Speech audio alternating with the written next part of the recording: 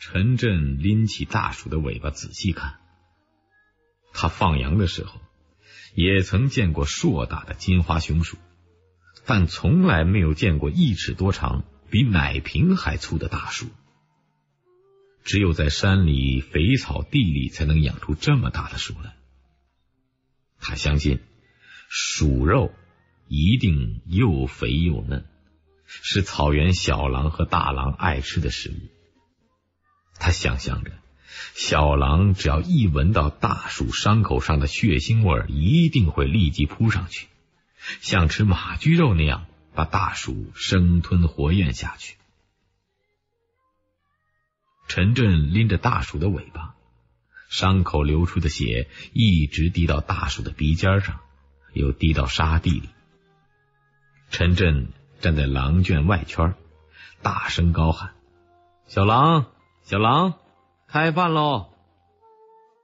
小狼瞪红了眼，他从来没有见过这种食物，但血腥味告诉他，这绝对是好吃的东西。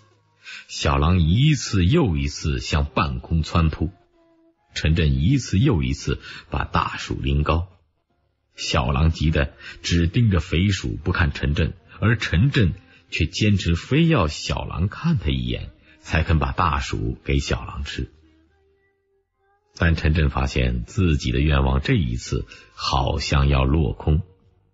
小狼见到野鼠以后一反常态，像一条兽性大发的凶残野狼，面目狰狞，张牙舞爪，狼嘴张大到了极限，四根狼牙全部突出，连牙肉牙床都暴露无遗。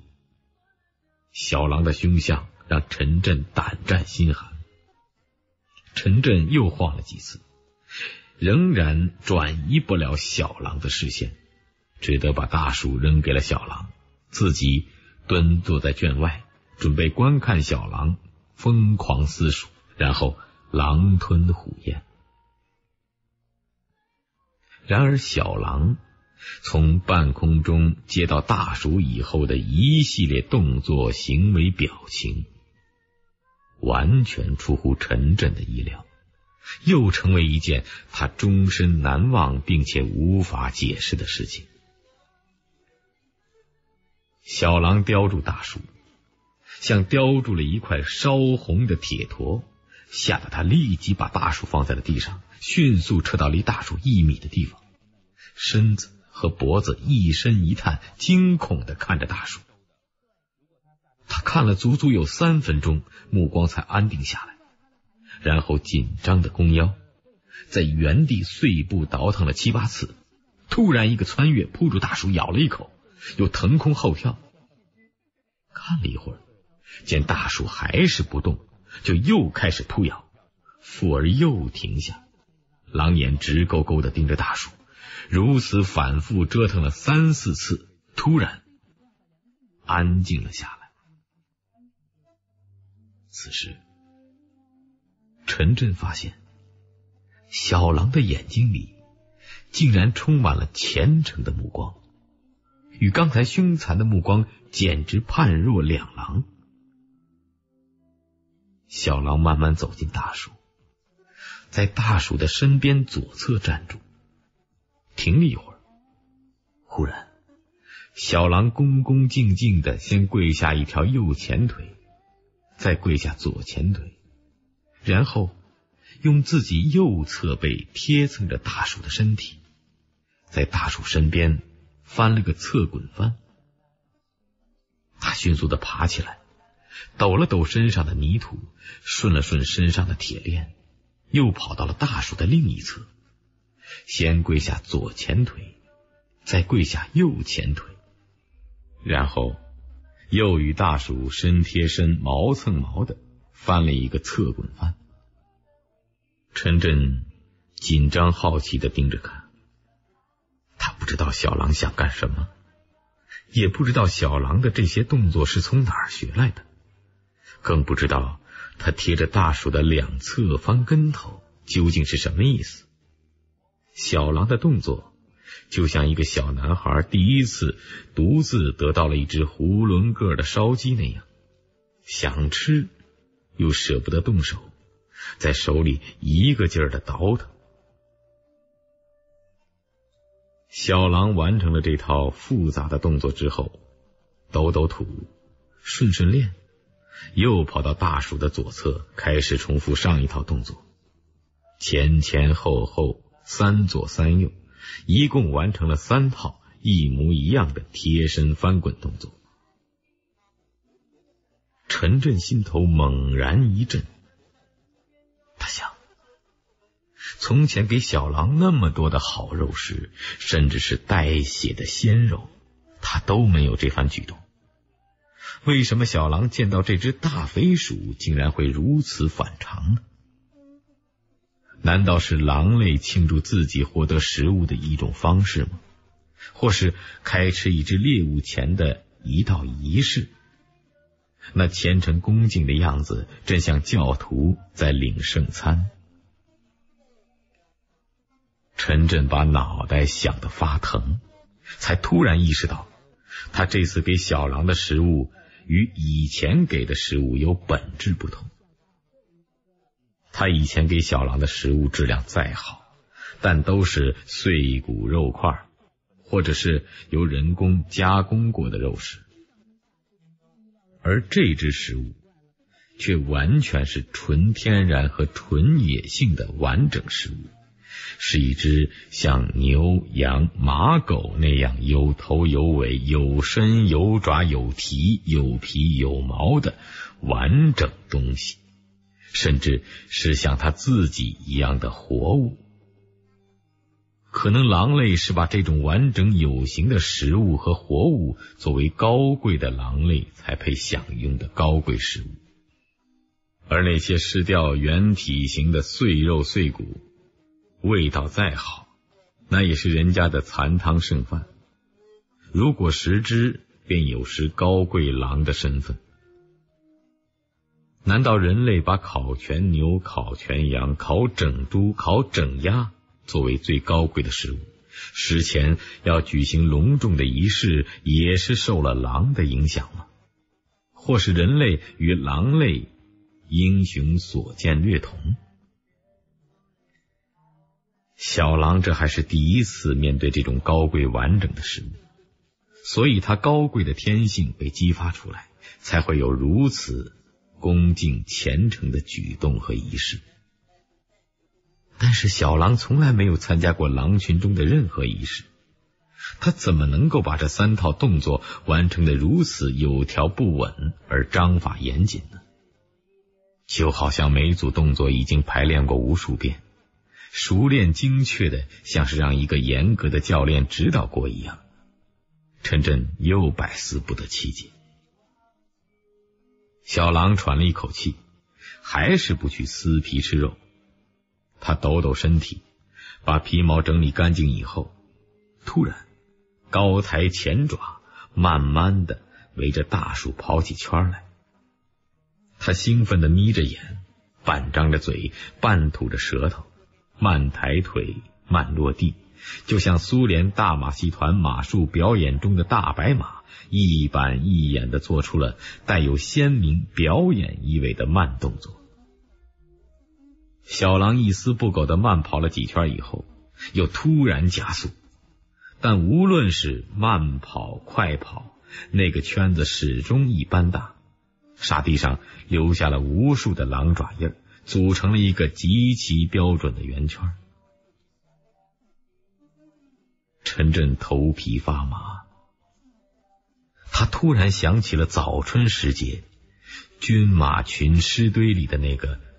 神秘恐怖的狼圈，那是几十条狼围着最密集的一堆马尸跑出来的狼圈狼道，就像怪圈、鬼圈、鬼画符。老人们相信，这是草原狼向腾格里发出的请示信和感谢信。那个狼圈非常远。此刻，小狼跑出的狼圈也非常远，但两个狼圈的中央则都是囫囵个带皮毛的猎物。难道小狼不敢立刻享用如此鲜美野味儿？他也必须向腾格里画圈致谢吗？无神论者碰上了神话般的现实，或现实中的神话。陈震觉得无法用本能和先天遗传来解释小狼这一奇特的行动。他已经多次领教了草原狼，他们的行为难以用人的思维方式来理解。小狼仍在兴奋的跑圈，可是他已经一天没有吃到鲜肉了。此刻是一条饥肠辘辘的饿狼。按照常理，饿狼见到血肉就是一条疯狼。那么，小狼为什么会如此反常，做出像是一个虔诚的教徒才有的动作来呢？他竟然能忍受饥饿去履行这么一大套繁文缛节的宗教仪式？难道在狼的世界里也有原始宗教吗？并以强大的精神力量支配着草原狼群的行为，甚至能左右一条尚未开眼就脱离狼群生活的小狼。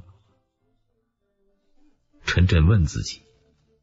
难道原始人的原始宗教是由动物界带到人世间来的吗？草原原始人和原始狼，难道在远古就有原始宗教的交流？神秘的草原有太多的东西需要人去破解。小狼终于停了下来，他蹲在大鼠的面前喘气。等胸部起伏平稳之后，便用舌头把嘴巴外沿舔了两圈，眼中喷出野性贪欲和食欲的光芒，立即从一个原始的圣徒陡变为一条野狼恶狼。他扑向大树，用两只前爪摁住大树，一口咬破鼠胸，猛地一甩头，将大鼠半边身子的皮毛撕开。血肉模糊的鼠肉露了出来，小狼全身狂抖，又撕又吞。他吞下大鼠一侧的肉和骨，便把五脏六腑全掏了出来。他根本不把鼠胃中的酸臭草食、肠中的粪便清除掉，就将一堆肠肚连汤带水、连汁带粪一起吞下肚去。小狼越吃越粗野，越来越兴奋，一边吃还一边发出有节奏的快乐的哼哼声，听得陈震全身发怵。小狼的吃相越来越难看，越来越野蛮。他对大鼠身上所有的东西一视同仁，无论是肉骨皮毛还是苦胆膀胱，统统视为美味。一转眼的功夫。一只大肥鼠只剩下鼠头和绒毛短尾了。小狼没有停歇，马上用两只前爪夹住鼠头，将鼠嘴朝上，然后歪着头几下就把鼠头的前半截咬碎吞下，连坚硬的鼠牙也不吐出来。整个鼠头被咬裂，小狼又几口把半个鼠头吞下。就连那根多毛无肉、只有尾骨的鼠尾，小狼也舍不得扔下。他把鼠尾一咬两段，连皮带毛带骨的吞进肚子里。沙盘上只剩下了一点点血迹和尿迹。小狼好像还没有吃过瘾，他盯着陈震看了一会儿，见他确实已是两手空空，很不甘心的靠近他走了几步。然后失望的趴在地上。陈震发现，小狼对草原鼠确实有异乎寻常的偏爱。草原鼠竟能激起小狼的全部本能和潜能，难怪鄂伦草原万年来从未发生过大面积鼠害。陈震的心里一阵阵涌上来对小狼的宠爱与怜惜，他几乎每天都能看到小狼上演的一幕幕好戏，而且狼戏又是那么生动深奥，那么富于启迪性，使他成为小狼忠实痴心的戏迷。只可惜，狼的舞台实在太小。如果他能以整个蒙古大草原作为舞台，那该上演多么威武雄壮、启迪人心的活剧来！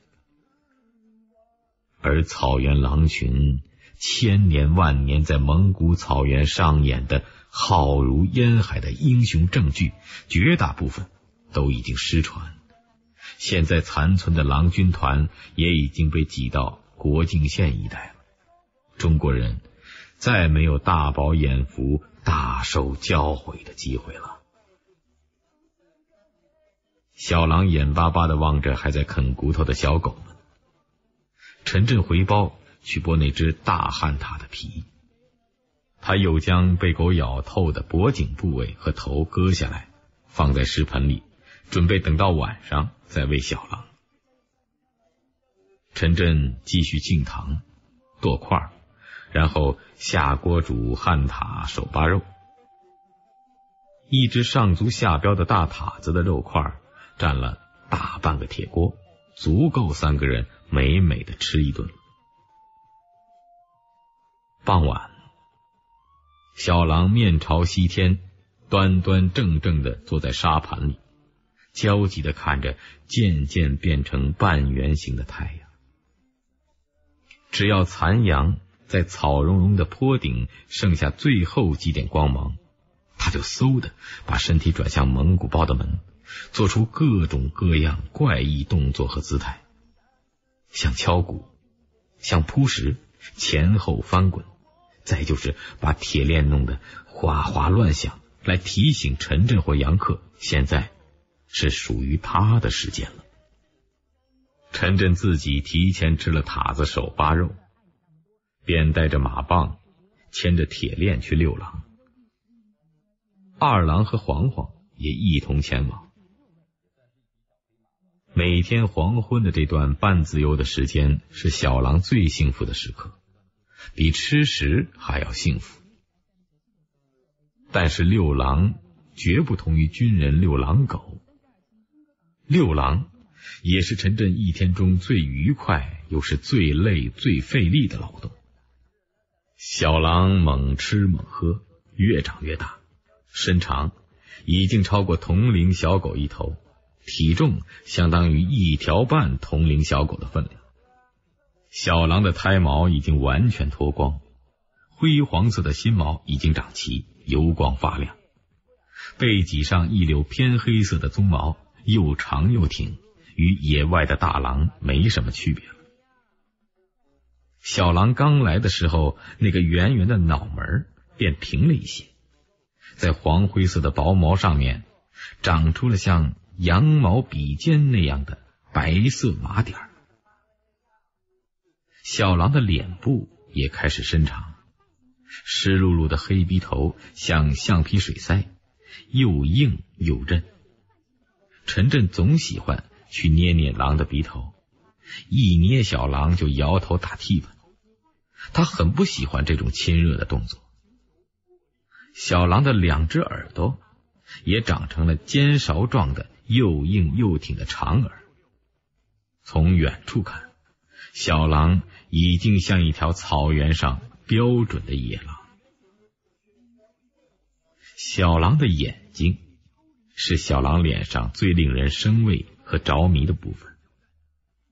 小狼的眼睛溜溜圆，但是内眼角低，外眼角高，斜着向两侧升高。如果内外眼角拉成一条直线，与两个内眼角的连接线相接，几近四十五度角，比京剧演员化妆出来的吊眼还要鲜明。而且狼眼的内眼角。还往下斜斜的延伸出一条深色的泪槽线，使狼眼更显得吊诡。陈震有时看着狼眼，就想起柳眉倒竖，或者是吊睛白额大虎。狼的眉毛只是一团浅黄灰色的毛，因此狼眉在狼表示愤怒和威胁时起不到什么作用。